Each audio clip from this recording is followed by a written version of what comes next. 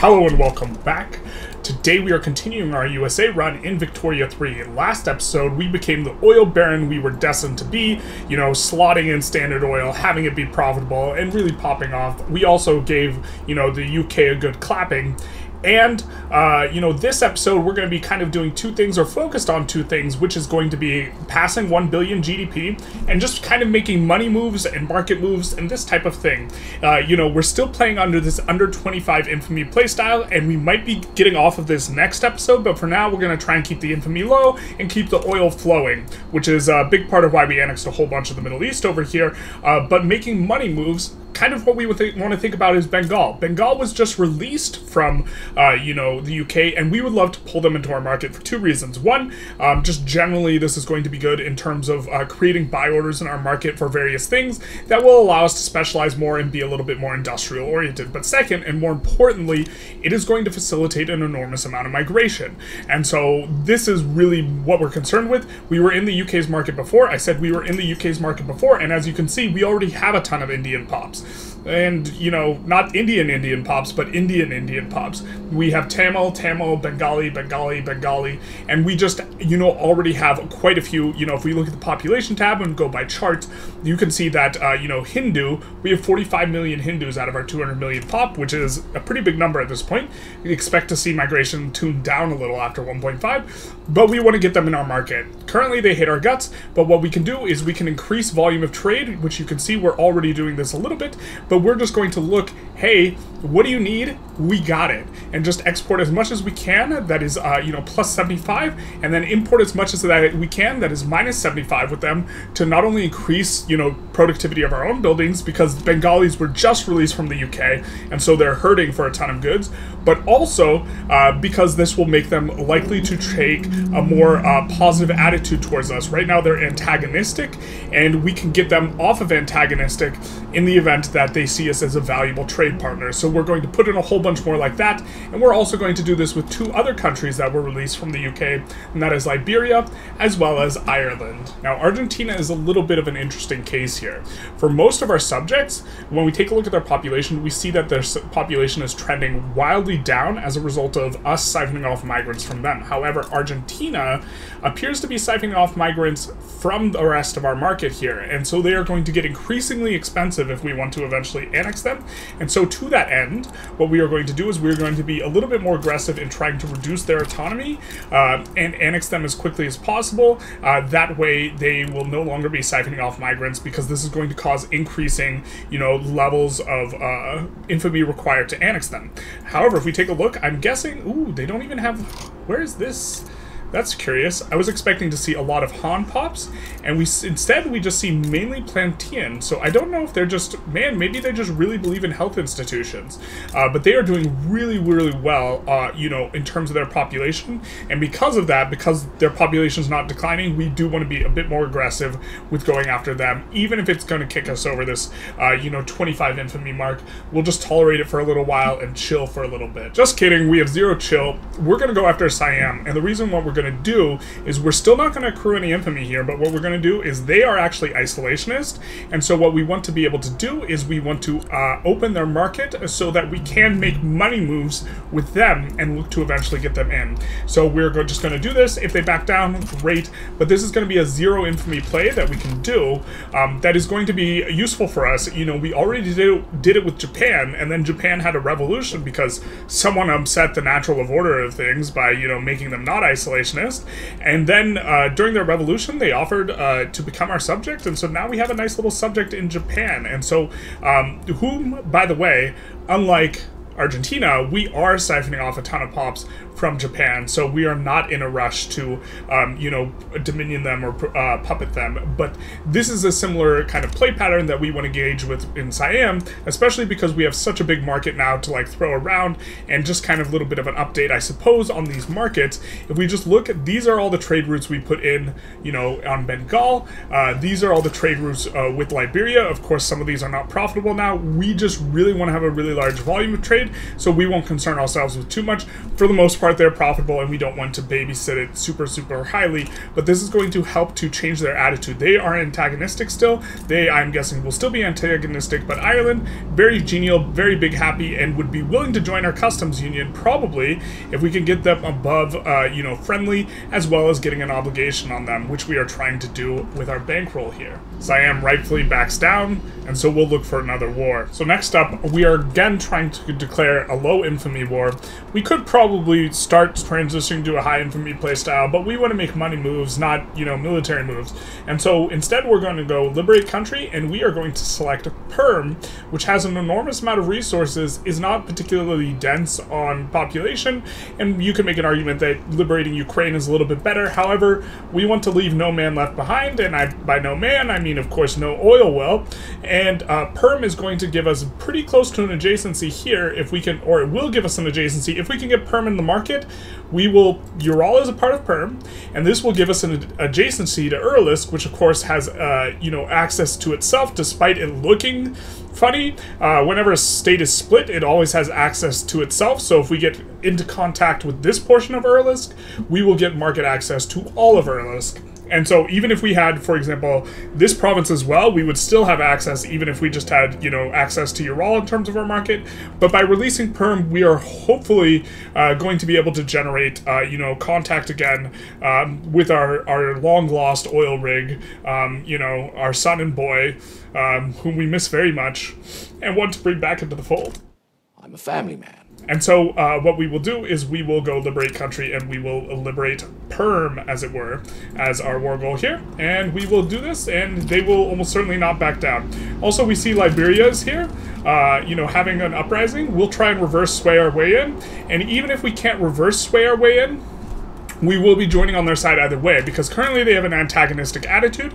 This will change their attitude towards us, and this combined with, you know, the very large volume of trade is going to make it very likely that we can kind of pull our way into the customs union in relatively short order. So we will take a look here. We'll offer support. Ooh, transfer states.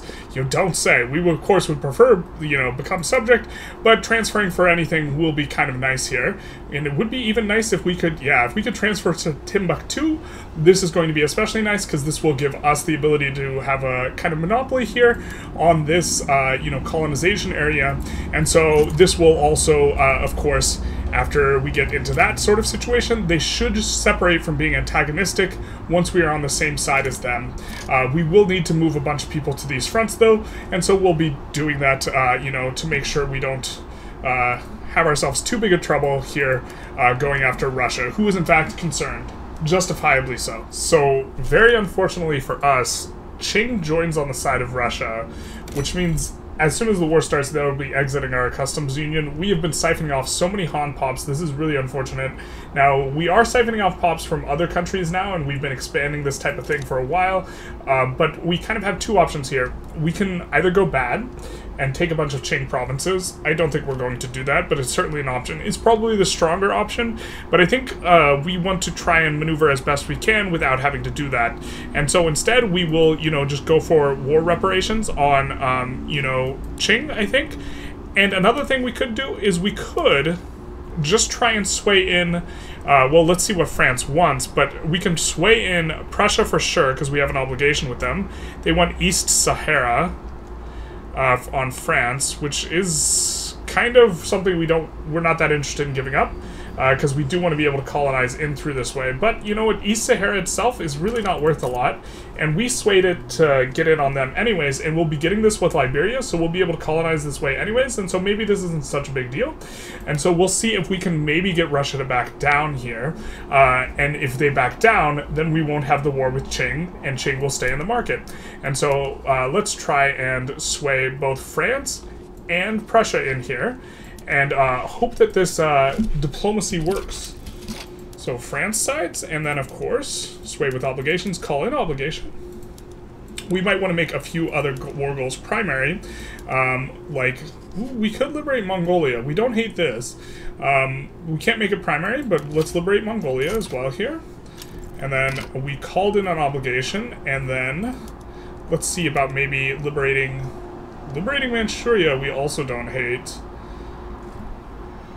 If we go to war, they will be ejected from the market, and then we can deal with these smaller these smaller units. So maybe we do this. I think it's better than liberating Armenia, and so we'll we'll see how this goes. We would love to take Manchuria, and so uh, hopefully this gives us a little bit of uh, you know some wiggle room regarding what we can do here. China also notably has a really strong military because uh, they are really good now at actually swapping up to PMs. They actually have more army power projection than us because their military is of course absolutely massive. I'm not sure if they're getting enough military goods and this type of thing, uh, but we will be increasing the size of our military by at least 100 battalions, maybe 200, and really, really cranking up in that regard. Um, you know, we have the second offensive army, in which we are, you know, putting in a bunch of shrapnel artillery. We will also, you know, put in good mobilization options and probably move this over to this theater and look to come in from Manchuria, because I imagine Qing will mainly be defending North and South China. If they move everyone to the Russian front, though, we should should be able to get easy enforcements on them.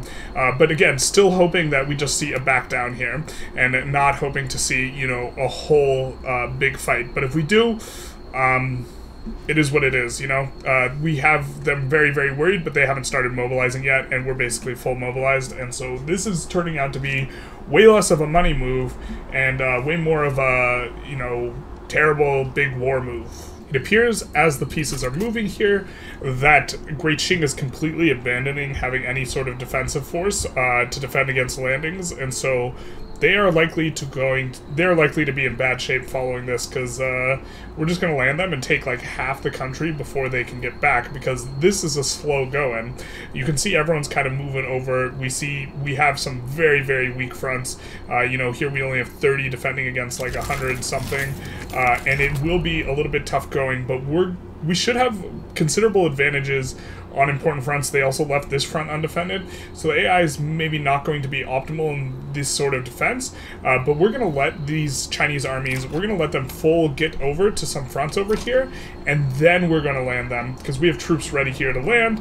We have troops here that we maybe could push with, and so I think that we win this despite having, um, you know, a little bit worse on um, the overall armies. And but unfortunately, Qing is now out of our market. They're in their own market. They're likely to join the Russian market again, and um, this is big sad for us. But we're not taking any of their territories, so they shouldn't be unfriendly with us uh, following this. And so you know they're even still friendly now. So maybe we can get them back into the market after this. So we got in on Qing's capital relatively easily. Uh, our cavalry mono cavalry unit is pushing. They have four generals, just ten cavalry units, so they should push extraordinarily fast. And this is kind of what what they're coming back to deal with. Um, over here, we are slowly pushing. Uh, we got a ton of battles going. Hopefully these go kind of in our favor here. If we take a look, we should be getting, you know, relatively good offense on our, you know, offending ones uh, or on our, our offensive ones because we have these split armies and you can see here we have a huge differential when we're defending so we should slowly grind them down. Prussia just gave them an absolute shellacking. Uh, we will need to move a defensive army up here. Uh, did our fleet even get there in time to land? Maybe our fleet didn't even get there in time to land. Where's our land party? Westphalia, okay, they're right here just pushing, and so they will be pushing. And uh, I guess they are kind of united with the Prussian unit, uh, but having both capitals here is looking in really good shape. We're also pushing up here, uh, which is not the biggest deal, and we are moving defensive armies here in anticipation of this 125 stack coming back. As soon as we have another kind of offensive army, I think what we are going to do before their stack gets here with our cavalry army, what we're going to do, because we don't want them to get locked up in infinite battles, we are going to land down here, and then they will be able to push extremely fast down here as these other two armies uh, kind of come in and pick up the slack. Wait, wait, no!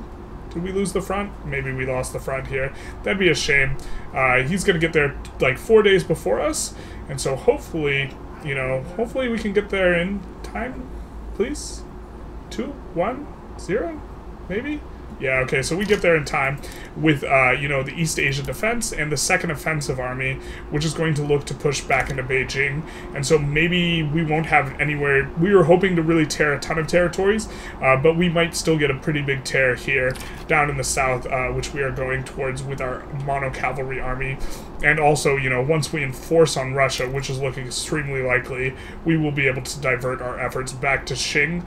And, um, you know, hopefully, hopefully we can make some money moves afterwards and get them in our market. You know, their defenses seem to suggest that they actually might not be on, you know, a higher form of infantry and might just instead be on, you know, the complete irregulars. And so, you know, this uh, army power projection might just be something that in 1.5.5 is just a, not a reliable indicator of, you know, how strong someone is. And, um, you know, we're pushing in quite quickly on all fronts here, uh, and they're taking too long to get to France. Um, you know, over here, we're still pushing, although it has slowed down a little bit, we're still pushing down here, but as long as we, you know, control the capital of Ingria, uh, we will get really for fast uh, enforcement times, and I think we're churning through their troops pretty well too, uh, because on our defense, uh, you know, because of how we have it situated, where we have the dual armies, the offensive and the defensive, I think this puts us in really good shape to be both good on the pushing and as well as the defending, and they just don't have good pushing armies, and so it's like they're just throwing their troops into a meat grinder. I mean, here we're really getting a lot in on the Great Qing, and uh, it doesn't look like they are uh, very well uh, poised to oppose us. And here we do see Liberia now wants a trade agreement. We, of course, abandoned them completely once the war started, but we changed their attitude towards being cooperative. And so this bankroll, we should be able to get them in the customs union eventually. We're going to improve relations with them here as well. And we're going to take a look. Can we get anyone in our customs union? Not quite yet. Uh, Burma, we're working on. And so Burma will be pretty nice once we can get them in here. We did open up Siam's market, so let's actually also bankroll them, and we will also take a look at, uh, you know, doing a whole bunch of trade with them, which we haven't started up yet. Big nice on a trade agreement from Siam, also indicative that they want to play ball after we did a whole bunch of trade with them. We're going to also improve relations, because we are floating this extra, you know, Diplo kind of coming in here, but we will definitely want to pull someone in the customs union. A big reason why we have a bunch of excess Diplo is, of course, uh, because Great Qing, uh, I think we had a defense pact, and we we had him in the customs union, and now we have neither, and so uh, that freed up a whole bunch of Diplo for us to uh, make some moves and try and improve relations. Uh, you know, if there's anyone else that we have on our current bankroll list uh, with whom we have uh, poor relations or relatively poor relations, we can just come in and also improve relations alongside that as long as they have less than plus 50. So someone like Egypt, we can improve. Um, we're already improving with Bengal, in fact, trying to get to the point where we can bankroll them, and so this will help us down the road to be able to pull people into our market. We're kind of uh, plateauing a little bit here in terms of the GDP, but uh, that might be because, uh, you know, we have so many people. I'm not sure exactly why that is that we're plateauing. I suppose we're actually still cranking up at a decent pace, but, uh, you know, continuing on here after quite a bit of time, we are getting really close to, an, uh, you know, enacting parliamentary republic, so we can get rid of the feckless Lincoln, son of the late and great Abraham Lincoln. But this guy, Thomas Lincoln, he's not the same as his father. Psychologically afflicted by the inability to live in his father's great footsteps, he's just not the man his father was. Sing, come and see. I'm not sure if it's war that's causing a massive performance hit, but things are moving along a little bit slow here. Um, we, of course, do also have some very strange looking front spaghetti, and the armies are all kind of moving around. Uh, trying to make some army moves, not money moves, and you know it is a little bit hard to manage because a lot of these that look like there are armies are in fact our subject armies because they have the same color, and so this is uh, you know an enormous headache uh, to you know fight this uh, massive, massive war. And uh, but it looks like it will be coming to a close uh, soon. Uh, you know, or at least yeah, Russia is pretty willing to capitulate here and you know Qing's not that far off and so we will continue trying to manage stuff as best we can. You know the GDP is starting to crank up a little bit again um, and uh, you know if we can get uh, specifically Qing back in the market, this is actually probably the biggest confounding variable. Oh, and we get some front unification there. That's going to be a big help as well. Uh, but if we can get Qing back in the market, I think we will break 1 billion. And this has been the, the least money of all money moves, you know, getting in a land war in Russia in the winter. Uh, but, you know, someone's got to someone's got to do it. It shouldn't have been us, though, I suppose. We should be enforcing on this next tick here, uh, at least on Russia, and then all these armies. I think it's the fact that there's so many battles going on because, you know, there's battles available in every single state. Oh yeah, now we're going way faster. So yeah, that was the cause of the... Oh my god, I hate this bug. So everyone got unassigned from their fronts, so we will have to reassign everyone to their front. Uh, and somehow, somehow, the war leader is in fact uh, not uh, not going to be Qing. actually, well, this isn't the craziest somehow, but the war leader is not in fact going to be Qing here. Instead, it's going to be. Uh, Instead, it's going to be uh, the Ottoman Empire, who's still involved in this war, and we never really did anything to them. And so we will uh, assign everyone back to a front and try and uh, get this all fixed up. But you can see here what we were talking about with Perm having an adjacency to Erlisk. And so if we get Perm into the customs union, um, what we will be able to do is following that, we will be able to start bankrolling them, of course. Following this, we will have access to our sweet, sweet oil here in Erlisk. So it looks like we can pull both Liberia and Ireland into the customs union using an obligation that we have accrued through our bankroll. So we will do that with both, and then we will stop bankrolling each of them. Uh, get rid of the bankroll. That's not Ireland, that's Brazil. Rookie mistake, easy one to make. Ireland very much looks like Brazil. And then we will also pull off with Liberia, and we will just have two more people in the customs union whom we can siphon off uh, their migrants. Now, um, it'll be, you know, we will drink their milkshake as it will uh, drainage. And so uh, what will be happening here is we are going to be pushing in, you know, we have a couple fronts developed. Um, we're kind of having a little bit of difficulty. Uh, you know, we're trying to get people back to the fronts. Uh, we should be okay. Uh, but the big one is going to be just enforcing on the Ottomans, just regular, and they seem to have left all their troops behind. So uh, we'll just put, uh, and we already have this designated as the strategic objective, so they should be pretty quick to enforce on here as well. Um, we're just hoping that the presence of this uh, makes it so we can't be ticked below zero, but it does look like we can be ticked below zero, so we do have to actually maybe... Oh my god, okay. Okay, it's just these two. If there was a third party, we would probably want to go land them, just in order to make sure we get our full enforcement here on Qing. We can now get an obligation with Perm. Uh, don't really want to, uh, or sorry, not an obligation, a trade agreement, which is going to be great for getting them into the customs union. Don't really, they're fairly likely to join if we can just get them up to friendly anyways, and so we don't want to give a, them an obligation, although we could to immediately gain access here, but we would eventually, I think sometime down the line, want to siphon off pops, or or not siphon off pops, rather, uh, want to annex perm, and so um, we will, or vassalize them, and so we will try and make sure that this is going to be um, something that looks good for us or easy for us, and if we have an obligation, then we can't declare war on them, so that's why we're not doing that. It looks like they are freeing up some of their stuff here, but our fronts are overall uh, pretty good looking, and so if we can close up both these fronts over here, get everyone assigned over here. Now, a lot of our units we actually just could not assign to this front, uh, which is buggy and it's like bricked for us, and so hopefully that doesn't make it so that we can't enforce. But we did enforce, you know, the very important thing was which was releasing perm, uh, and it's like uh, this was the important one uh, at all. That's a lot for Lindy. Uh, you know, the releasing of Perm was the main one. Um, once we get them in our customs union, we will restore the natural order of things over here. We can maybe try and get Cushy Zhuj, which would cut the Russian market in half a little bit and deny them land access to Great Qing, in which case it would be hard for them to pull Great Qing back into the market. Uh, but, uh, alright, well, we get that on Great Qing, and we will go about uh, trying to improve relations with them. You can see uh, they are antagonistic but friendly. We'll bankroll them. Uh, we will bankroll these guys once they have, you know, access access to their own HQ. Uh, and then we will also do the same with Manchuria and look to kind of get all these guys into the customs union. You know, uh, the Manchuria, uh, Mongolia, Qing, and also Perm here. So after we stuck in an enormous volume of trade, Great Qing is back to being genial, so we will invite them to the customs union here, and, uh, you know, no harm, no foul, we get Qing back in the customs union. Of course, they will not have Mongolia or Manchuria, but the lion's share of their pops are in this kind of lower region anyways, uh, you can see, which doesn't include Manchuria and Mongolia, and so we will get back to siphoning off their pops, and you can see our GDP absolutely jumps up, uh, you know, once we have um, their buy and sell orders in our market, helping us out quite a bit, uh, and so this is going to be big nice. Uh, we, of course, have an enormous amount of bureaucracy, because we have been increasing it, uh, looking to increase our safety institution a little bit.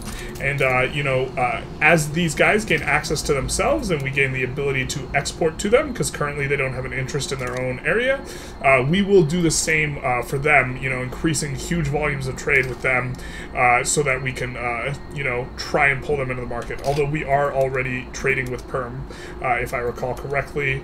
Um, and so, yeah, that's why their market prices don't look absolutely insane, except for the ones that we are depressing.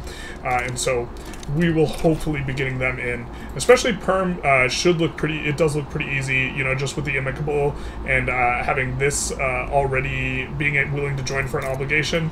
Uh, you know, might be a little bit harder on these other two. We now have trade agreements with Perm, uh, Mongolia, and the Great Manchurian, or sorry, we now have trade agreements with Manchuria, the Great Mongolian State, and Perm.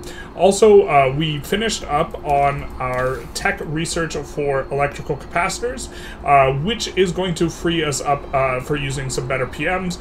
Uh, unfortunately, all of these PMs require electricity, so we're really having to, you know, up the electricity in a lot of places in order to really turn them on. They're not really available to us just yet. If we have a low-level textile mill where we have electricity, we can do it, but we can't do it with these high-level, uh, you know, uh, textile mills. So we're what we're going to do is we're going to have to you know increase stuff. Now we can turn on stuff like brine electrolysis here in Pennsylvania because we do have enough power here. But we're going to have to go through pretty much everything. Well, why don't we put this on auto expand? We're going to have to go through pretty much everything and uh, you know like kind of province one province at a time and really decide where it is that we can you know turn on these PMs because the PMs are better and where uh, where we might not be able to and this sort of thing. So there's going to be quite a bit of that behind the scenes as we, uh, you know, chug along nice and slow uh, towards uh, the inevitable 1936. We notably can now bankroll Bengal, uh, which we will do, of course, wanting to pull them into our market uh, as best we can because they have access to an enormous amount of pops, and this would help out a lot. Uh, Manchuria and Mongolia and Perm are still holding out, and we are approaching the 1 billion mark, which was kind of the goal for this episode. Um, you know, we wanted to make money moves, but I guess we made a move on Russia, and that wasn't very money. But um, we are now approaching the 1 billion mark. The trade volume with Burma, alongside, you know, bankrolling them, is made them, despite not having an obligation, willing to join our customs union, which is going to be fantastic. We'll start siphoning off those pops as well. Um, you know, still trying to work on Siam a little bit, and still trying to work on these three. Uh, we did have a little uprising that we sided with uh, in exchange for them becoming our subject with Radical Ecuador, uh, which is now our subject. And it looks like they can't actually be enforced on uh, because they are not the war leader. We're the war leader uh, because we're their overlord. Something like this. Uh, this is a strange little bugginess where the minus 100 isn't real and it can't hurt you if your name's Ecuador, at least. Radical Ecuador. Now, regular Ecuador they're going to get enforced on in a few moments, and we will have a nice little subject to ourselves, Baboom, uh, whom we can, of course, if we wanted to change their color, uh, just immediately come in and reduce their autonomy, but this is not necessarily going to be worth our infamy at this point in time, uh, because we have our eyes set on a bigger prize uh, in the Middle East and probably annexing Persia. And we've done it we've hit 1 billion GDP here. We get a nice little crank up. It's not about the size of your line, it's about the shape, and you can see pretty erect here. Um, towards the end, you know, we are moving up at a decent clip, uh, which is going to be pretty nice. Uh, just here's a quick look at the customs union, because the customs union also quite large, you know, on the back of our money moves. We're still trying to hold out about getting, uh, you know, Manchuria, Mongolia, and the Perm uh, but we have done a good job uh, this episode really expanding the customs union, you know, getting Burma in, uh, getting China back in, kind of releasing Perm. If that Perm was blue, we'd be fantastically happy. Of course, we get Ecuador in. Uh, you know, Argentina was in, but it is a very, very uh, painted, as it were. And, you know, Prussia looks like they're in, but they're just faking it uh, because we have almost the same color. But not for long once we get on to parliamentary. All right, so we get a gold rush in oil, and while we would normally do mine, mine, mine, it's all mine in California, let's just see how much migration attraction we can get here. Uh, so we will crank that, we will crank that, and, uh, you know, we will have, should have more migration attraction. I guess it's already really overpopulated. 15 million is quite a bit. We have minus from, you know, uh, pollution impact, but we have plus a whole lot from gold rush and oil rush. Uh, but even that, oh, there we go. That's more like it. Plus 12 million. You love to see it. Plus 12 million. 12 million a year. 12 million a year. That's a big number. That's a heckin' big number. That's really actually probably more than we would like. I don't think we actually want that many people coming to California, but now they're coming to California if you're the Schwarzenegger or the Governor. Uh, and so California will be now really densely populated. And of course, uh, if we take a look at, you know, who's there, it's primarily Han. Uh, you know, coming into here, but that is a big amount of migration. Big nice, big huge. What are we doing? Why should one stop at a big nice when they can have a bigger nice? We will come in and we will see just how high we can get it with a greener grass campaign too. Uh, this is going to be quite a big number here. Uh, I guess we gotta wait for Monday for the additional 50% to apply uh, and just see what the projected, you know, migration and loud car outside truly, truly is. Of course, the game is not going that fast, so perhaps I should have, you know, made this two clips. Uh, Goldfields depleted? No, unfortunate. But now we will see the Monday, and is it gonna update from 12 million? Okay, 13 million. Still bigger, but uh, 13 million. Big nice. A little over 100 migration attraction. You know, uh, we get Trade Center, Gold Rush, Oil Rush, Greener Grass Campaign, Great Power, and Intelligentsia Propagandists. Unfortunately, they're not powerful, but also the Statue of Liberty. So many modifiers. And then, uh, you know, from not even we don't even have unused arable land modifier there anymore, and we're still getting this amount. I thought we still had a pretty big unused arable land modifier, but I guess we're using enough of our arable land. Well, actually, it's all peasants. That's right. So, um, but yeah, that's that's quite a bit of migration without even having uh, what is kind of the stronger modifier. Instead, we just have SOL and available employment, but it is uh, quite a bit. And of course, we will get an enormous amount of unemployment as they flood in here. Even better, we get the Archducal American Dream. We can get plus SOL in California, which of course will push this even higher. Now, it's going to start coming down as the migrants start flooding in, and I don't think we'll actually get plus 11 million because we will start to get a pretty significant unemployment modifier here. I think it was like 4 something when we last looked at it, now it's 6 something. And so the SOL bump, uh, you know, as we come up to next Monday, will probably just bring us back to 13 million. But, you know, this is an enormous amount of pops. We are drinking some milk milkshakes here. Um, you know, with other people, yeah, it even dropped further because we're getting the pops in. But this means that it's just absolute drainage, uh, you know, coming out of like all these other places. Which look, they they're starting. We've drained them so much that they're not even all red anymore. Uh, you know, the pops really have like left the building, and so um, this is of course good for us. And we are siphoning down. I think this starts with 25 million. It has less than Game Start. Beijing is down a bit. Hebei is down to 8 million. You know, we're really, really, uh, you know, siphoning off the pops here. And if we look at you know the uh, population heat map here, you can see that you know it's no longer the case that like uh, China just looks way more populated than the USA. The USA is starting to catch up here, um, which is you know a testament to you know us very nearly having more population than China anyway, or as much pop as China. No, actually, we're not that close, but like we're closer than like what is kind of normal occurrence in normal looking games. You know, I decided we probably can afford to just give them an obligation, and then once we the bankroll, we'll just delete the obligation. Um, eventually, you know, if we earn an obligation while we already owe them an obligation, it just deletes our obligation, and so we're just going to uh, owe them an obligation and get them into the customs union, and you know, it would be longer until we can, uh, you know, make progress on them, but we're just going to get them both in, or generally speaking, it will it will likely take longer overall. Um, we could have just waited for them to become, you know, friendly, uh, and this probably would have been, you know, decent or reasonable, but uh, it's another 11 there and another 16 there, and we just kind of wanted to get them in because I think we are going to be concluding the episode here, uh, and of course, we finally get access here uh, in Archducal American Uralisk, and so they're starting to employ up, and now they can sell the oil. Oil is dirt cheap, by the way. Um, but, uh, you know, this is uh, going to be kind of concluding the episode here. We made some money moves. We expanded the market. Um, you know, we didn't accrue too much infamy, but we managed to do useful stuff, uh, you know, kind of dismantling the Russian market, getting access over here. Um, I think that uh, the game is proceeding now slow enough in terms of performance that this is likely going to be the last episode unless you guys um, really uh, want us to continue this run. Um, Notably, this episode we didn't include a lot of clips from films, um, and I was just trying out a little bit of a different style with that last episode, um, and so I'm probably going to wait and see um, how that episode does in terms of feedback, as well as you know how people seem to feel about it. Uh, but let's kind of take a look at a lot of the top line uh, type of metrics. Uh, you know, we have one billion GDP. Our GDP per capita is also number one worldwide, just a little bit ahead of Saxony, um, and so that's going to be nice. Literacy kind of coming on up. You can see we do not have the hottest of heat maps. Um, in regards to literacy, I don't think we have the level 5 institution. We definitely can't run the thing. Uh, we do look pretty good in terms of standard of living uh, relative to the rest of the globe at 18 million. Notably, China is not like beet red, just like super red, which is uh, probably a result of their mass exodus, you know, to our market. Uh, you know, they don't have too bad unemployment. If you take a look at the pop heat map, really uh, an impressive story in terms of the migration. Expecting to see this nerfed after 1.5.5.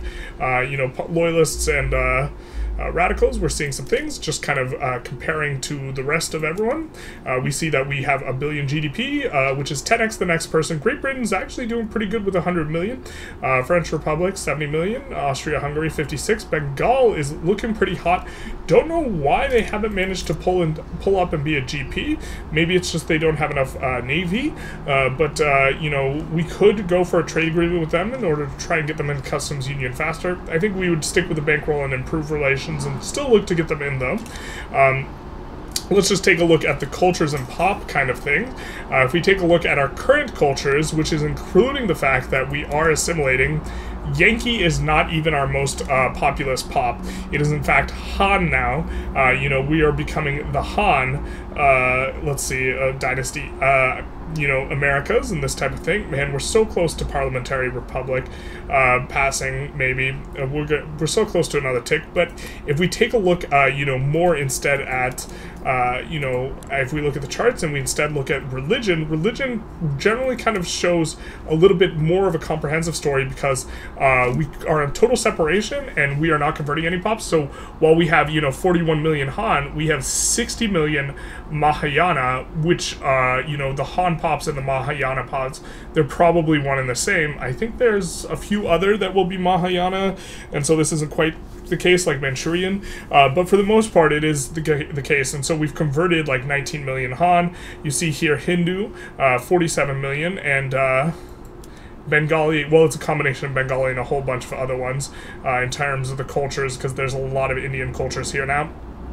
But we, you know, uh, our our our population is very much not the result of uh, you know us expanding the Protestants that were here. And if you take a look, uh, the Protestants which have grown from the loud, loud Karaite side, the Protestants that have grown, you know, from the initial starting population in the United States, which I think is, if I'm not mistaken, it's around 18 million, something like this. Maybe I'm mistaken. I actually can't quite remember the number, but it's only 47 million out of 229 million. So this is truly, truly, truly a nation of immigrants uh, that we have here, uh, where we, of course, uh, you know, gave an enormous amount of land to the Indian people.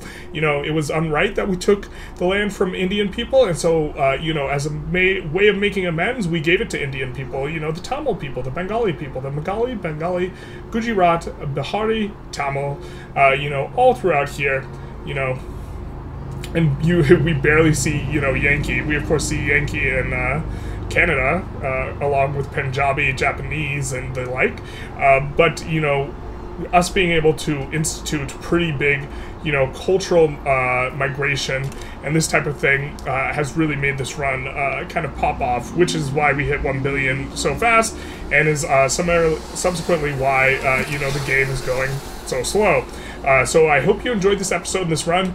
Maybe we have one more in us, uh, depending on how things uh, go. Uh, but I think this will be the end of the run. I hope you enjoyed. Feel free to like, comment, subscribe, and etc. Mostly etc. And have a good day. Oh, one more thing. One more thing. Now, children, I was asked to bring a healthy snack, so join me in the hall for swine livers and Capri Suns.